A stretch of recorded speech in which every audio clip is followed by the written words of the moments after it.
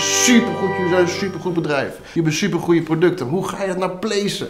Dat de mensen snappen eh, waar jullie voor staan. Dus we hebben de hele nacht doorgehaald om te werken aan dit concept. En we hebben een super sexy, trendy idee bedacht. Flashy. We gaan ervoor zorgen dat jullie klanten jullie producten gaan associëren met schaars geklede dames. Bikinis. Viral.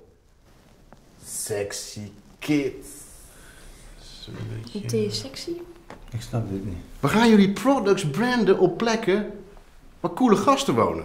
En coole meisjes. Weet je wel? Skateboarders. In een Ferrari op het strand. Ondergaande zon, sushi, jetlag. Je weet toch? Bijna niks aan. Met een muis op het strand in Taiwan. Draadloos. Het gaat er ook niet om of het sexy is. Het, is, het moet gewoon veilig zijn. Nee, maar door het kopen van die producten denken die mensen dat ze net zo'n cool leven gaan krijgen. Terwijl wij net zo goed weten onder elkaar dat het gewoon onzin is. Maar- maar wij, wij liegen niet tegen onze klanten.